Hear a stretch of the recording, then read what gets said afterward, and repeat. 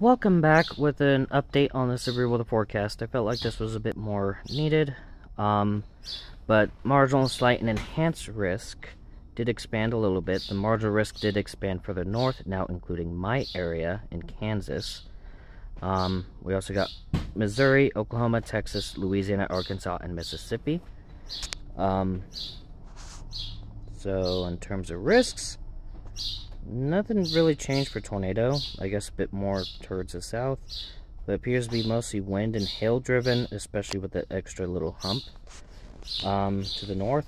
Day two has also changed a little bit. It's a little bit more compact. Um, but we still got marginal and slight risk in parts of Louisiana, Mississippi, Alabama, Florida, and Georgia. Uh, tornado threat did decrease, mostly um, the area that's affected, same as wind. Um, hail still out of the picture. And then day three, once again, nothing, but again, cannot rule out a marginal risk in parts of Florida. Four to eight days, still that mixture of potential and predictability too low. And yeah, that's about it. Stay safe out there. See you in the next video. Bye.